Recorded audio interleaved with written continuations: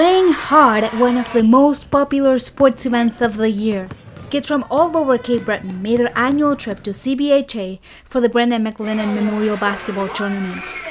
The event has been gathering loyal crowds for the past 17 years, with several communities getting together in the name of healthy competition. Brendan's memory always present.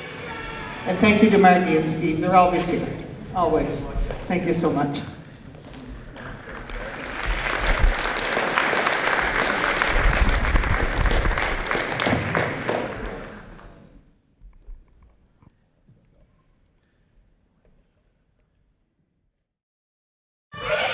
Although today's players haven't met Brendan, coaches and teachers certainly have, and they pass along the values he lived by to a new generation of kids.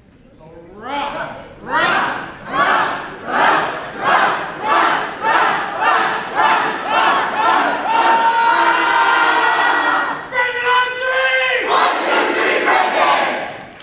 what I heard from people, he was just an amazing man, and um, just to be able to kind of imitate that and his, um, his attitude on and off the court, I think it's very important. With 10 teams playing, organizers spend months in preparation. All proceeds go to a local girls and boys basketball teams, the Huskies. This year, they're saving up for a new game clock. Teachers and students volunteer, parents bring food to share. It's a weekend for people to bond. Our school is open to the community for three days. And communities outside.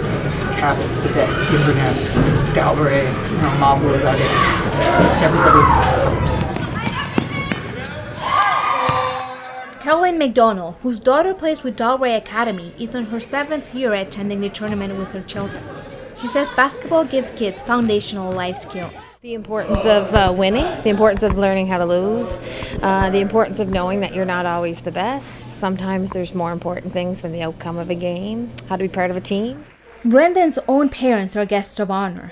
They said the tournament always brings back memories, good and bad, but it's comforting to feel the community rallying around them. Everybody's here to support us, and they uh, we're just amazed at uh, the people that are here and see all what Brendan accomplished.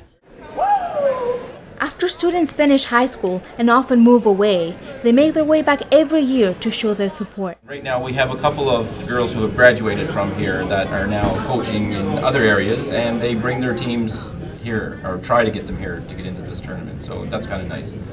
And a lot of girls that go off to university, their common bond from this area is this tournament. They, they speak about it a lot. Substitution. The tournament has gradually changed from its inception in 2003, integrating girls' teams and in the past few years, junior teams. Score by Copley. It has helped to build a community around the sport. I always tell the senior girls that play for our team that uh, the younger teams and the younger players and the younger girls that come out and watch the game, uh, they learn from them. Uh, they look at them as idols the same way that uh, myself and, and my generation looked at Brendan MacLennan as an idol. And uh, ultimately, how you grow a program and how you grow a culture around the sport, it, it all depends on, on, how you act as role models and, and, how you behave on the court. So they, uh, they act accordingly. This year, the Huskies girls seniors team made it into the championship finals. The little kids on the stage calling out your name, it's just like so surreal because you're like, they can be like me someday, and it's just, it makes basketball just keep going, and it's so fun. In fact, they won.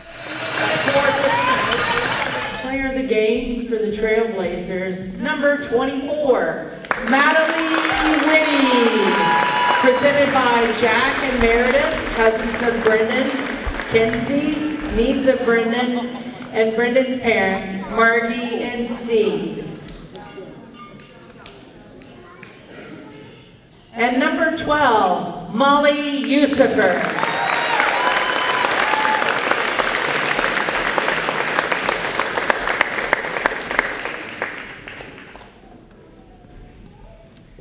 And for the Cape Breton Highland Huskies, the player of the game is number nine, Leah Burns.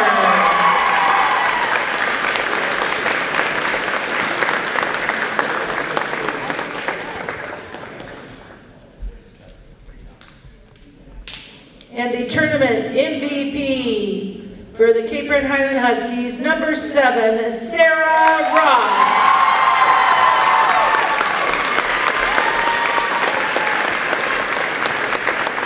And if I can have the captains of the Huskies come forward to receive the trophy for tournament champions, the 17th annual Brendan MacLennan Memorial Basketball Tournament. Congratulations, ladies. On its 17th season, the Brendan seems to be turning into a classic. It's funny, yesterday, um, the, when they had the junior high game, there was a little boy came and he sat beside me. So I spoke to him, and then he got really talky before the game was over. He was telling me things about the game, and and he said, uh, "You know, it's six more years, and I can play on the Brendan." Giving it your best, but also leaving it on the court, and most importantly, looking out for one another. Brendan's legacy is one made to last. In Terre Noire, for CHNE, this is Paula de Emperors.